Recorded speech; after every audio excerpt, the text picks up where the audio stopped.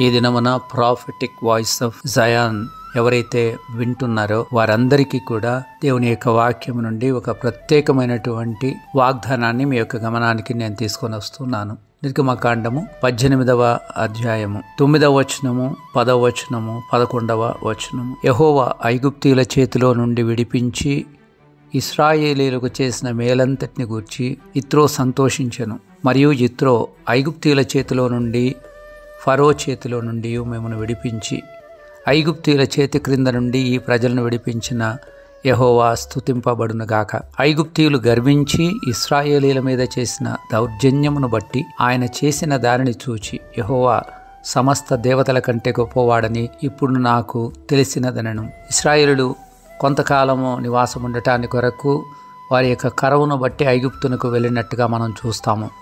యోసేపు గారు తన యొక్క కుటుంబం వారినంతటిని కూడా ఆ యొక్క గే ఐగు ఐగుప్తులో ఉన్నటువంటి గోషేను దేశములో నివసించడానికి కొరకు ఫరో చేత ఐగుప్తు దేశములో ఉన్న గోషేనును ఇస్రాయేల్ వారికి ఇప్పించిన పరిస్థితిని కూడా మనము ఆది కాండములో చదువుతాం.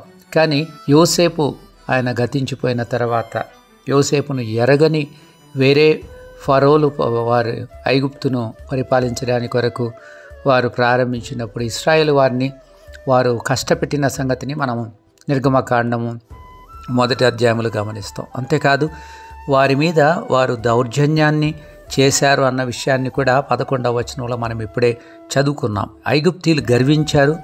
ఇస్రాయేల్ మీద చేసిన దౌర్జన్యాన్ని బట్టి వారు వారి ఎడల చూపినటువంటి కాఠిన్యాన్ని బట్టి హృదయ కాఠిన్యాన్ని బట్టి దేవుడు వారిని విడిపించాడు ఫరో చేతిలో నుండి ఐగుప్తుల చేతిలో నుండి వారిని విడిపించాడన్న విషయాన్ని ఇత్రో గుర్తించి దాన్ని బట్టి సంతోషించేవాడుగా ఆ తర్వాత దేవునికి పన్నెండవ వచనంలో దహన బలి అర్పించిన వాడుగా మనం చదువుతాం. మనము ఎప్పుడైతే ఇలాంటి పరిస్థితులు గుండా మన జీవితంలో వెళ్తున్నామో మన యొక్క జీవితంలో మన యొక్క పరిస్థితిని బట్టి కొంతమందికి మనల్ని మనము దగ్గరగా చేసుకున్న పరిస్థితి లేక వారిని సర్వ్ చేయడానికి మనం వెళ్ళినటువంటి పరిస్థితి. మన ఇబ్బందిని బట్టి వారు ఏదైనా సహాయం చేసి మనల్ని వాళ్ళు చేర్చుకున్న తర్వాత ఆ తర్వాత మన మీద తమ యొక్క జులుమును ప్రదర్శించడానికి తమ దౌర్జన్యాన్ని చూపించడానికి తమ కాఠిన్యాన్ని చూపించడానికి ఎవరైతే ప్రయత్నిస్తుంటే ధైర్యపరచుకోండి. మిమ్మల్ని విడిపించే దేవుడు మీకున్నాడు. ఇస్రాయేల్ వారిని ఐగుప్తుల చేతి నుండి విడిపించిన దేవుడు మిమ్మల్ని కూడా విడిపిస్తాడు.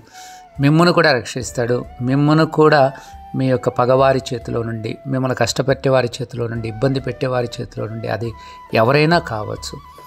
సొంత వాళ్ళే కావచ్చు పరాయి వాళ్ళు కావచ్చు లేక పరాయి దేశంలో ఉండి ఇలాంటి ఇబ్బందులు మీరు ఒకవేళ అనుభవిస్తుంటే కూడా నేను మీతో మాట్లాడుతున్నాను దేవుని యొక్క వాక్యాన్ని బట్టి. దేవుడు మిమ్మల్ని చూస్తున్నాడు. మీ బాధ మీ కష్టము మీ వేదన చూస్తున్నాడు. ఆయన తప్పకుండా మీ రెస్క్యూకి వచ్చేవాడు ఉంటాడన్న విషయాన్ని నేను మీకు గుర్తు చేస్తూ ఉన్నాను.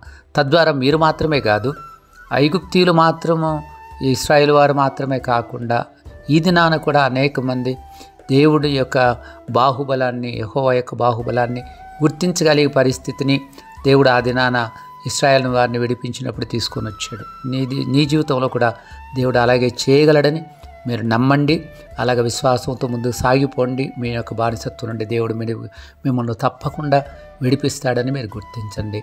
అలాగ నిరీక్షణతో ముందుకు వెళ్ళటానికి ఈ దినమంతట్లో దేవుడు కృపాను గ్రహించిన గాక మీ సహోదరుడు రెవరెండ్ డాక్టర్ మాయిసెక్